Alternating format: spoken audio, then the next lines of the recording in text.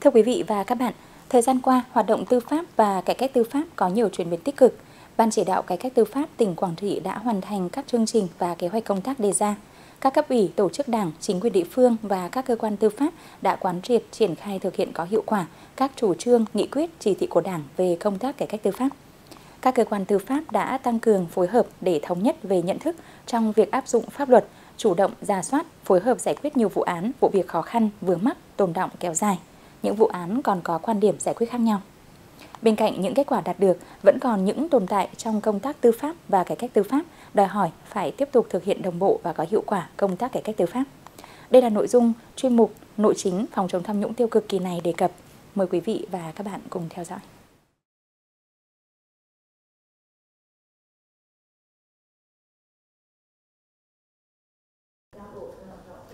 6 tháng đầu năm 2024, Ban chỉ đạo cải cách tư pháp tỉnh đã tham mưu tỉnh ủy, lãnh đạo, chỉ đạo các cơ quan đơn vị trên địa bàn tỉnh tiếp tục quán triệt triển khai thực hiện có hiệu quả các chủ trương chỉ đạo của Trung ương, của tỉnh về công tác cải cách tư pháp, ban hành chương trình công tác cải cách tư pháp năm 2024.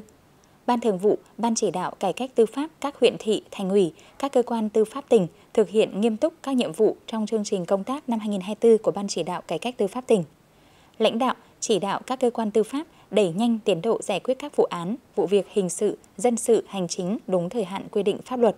quan tâm chú trọng công tác tuyên truyền, phổ biến, giáo dục pháp luật. Trên lĩnh vực tư pháp, Công an tỉnh đã triển khai thực hiện hiệu quả các chủ trương của Đảng, của ngành về công tác cải cách tư pháp, ban hành nhiều văn bản để thực hiện các nhiệm vụ cải cách tư pháp, tham mưu tỉnh ủy, ủy ban nhân dân tỉnh thực hiện tốt chức năng quản lý nhà nước về an ninh trật tự theo địa bàn, lĩnh vực quản lý, thường xuyên tổ chức thanh tra kiểm tra kết quả thực hiện công tác tư pháp và bổ trợ tư pháp tại công an các đơn vị và địa phương nhằm kịp thời phát hiện, chấn chỉnh, khắc phục những tồn tại thiếu sót, góp phần nâng cao hiệu quả các mặt công tác. Công tác điều tra, khám phá các vụ án hình sự đạt tỷ lệ cao. Công tác tiếp nhận, phân loại, giải quyết tố giác, tin báo về tội phạm và kiến nghị khởi tố, thi hành án hình sự đảm bảo đúng pháp luật. Ờ, công an tỉnh đã tập trung ờ, chỉ đạo thực hiện tốt một số công tác nổi bật là đẩy mạnh ứng dụng công nghệ thông tin trong phòng chống tội phạm, ờ, đặc biệt là tập trung xây dựng và tiến tới là sử dụng đề án vi án ghi hình sử dụng âm thanh trong hỏi cung bị can theo quy định của Bộ luật tố tụng hình sự năm 2015 ờ, các cái đề án về xây dựng cơ sở vật chất đối với các trại tạm giam, nhà tạm giữ kho vật chứng để đảm bảo cho công tác phục vụ công tác điều tra cũng như xử lý tội phạm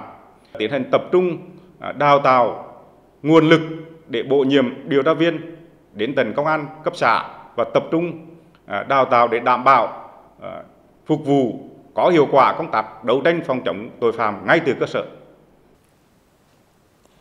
Viện Kiểm sát Nhân dân hai cấp đã triển khai thực hiện các văn bản chỉ đạo của Trung ương, tỉnh và của ngành về công tác cải cách tư pháp ban hành kế hoạch thực hiện chương trình công tác cải cách tư pháp năm 2024, phối hợp chặt chẽ với các cơ quan tiến hành tố tụng, đảm bảo giải quyết các vụ án, vụ việc đúng pháp luật, không để xảy ra oan sai, bỏ lọt tội phạm,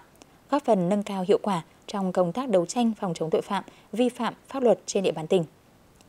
Tòa án Nhân dân hai cấp của tỉnh Quảng Trị tiếp tục triển khai quán triệt các nghị quyết, chỉ thị của Đảng và chương trình phối hợp về nhiệm vụ cải cách tư pháp đến toàn thể cán bộ, công chức, người lao động,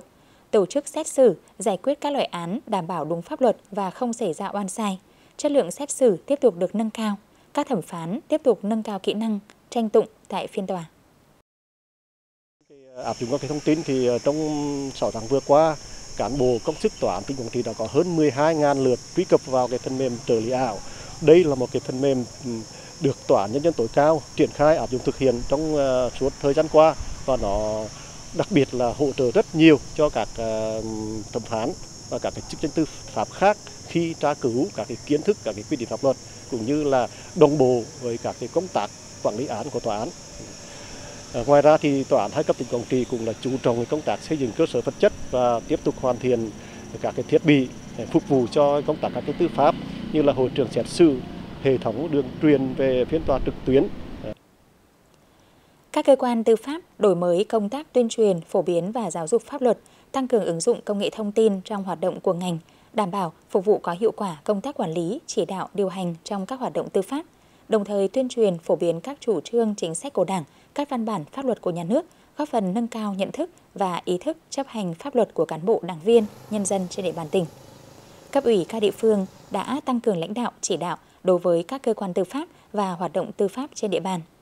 Công tác tuyên truyền phổ biến và giáo dục pháp luật, bổ trợ tư pháp chuyển biến tích cực, nhiều hoạt động tuyên truyền pháp luật, trợ giúp pháp lý được triển khai đến cơ sở. Chúng tôi cũng đã làm tổ chức công tác tuyên truyền ờ, thông qua ờ, tập huấn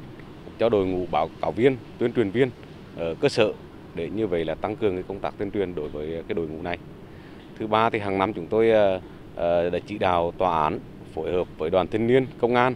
để như vậy là tổ chức các cái phiên tòa lưu động để ờ, thông qua đó cũng làm tăng cường cái nhận thức của người dân cũng như cán bộ đảng viên đối với công tác cải cách tư pháp trong tình hình mới. Từ đó đã Ờ,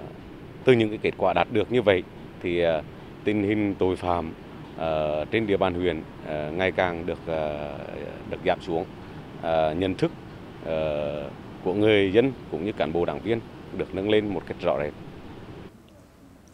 Bên cạnh những kết quả đạt được trong công tác cải cách tư pháp, vẫn còn một số tồn tại nhất định. Vì vậy, các cơ quan tư pháp của tỉnh tiếp tục tập trung phổ biến và quán triệt các chủ trương chính sách quy định trong công tác tư pháp. Tiếp tục tập trung chỉ đạo, giả soát, giải quyết rứt điểm các vụ án tồn động còn ý kiến khác nhau từ hình sự đến dân sự để hạn chế án hủy, sửa, trả hồ sơ để điều tra bổ sung.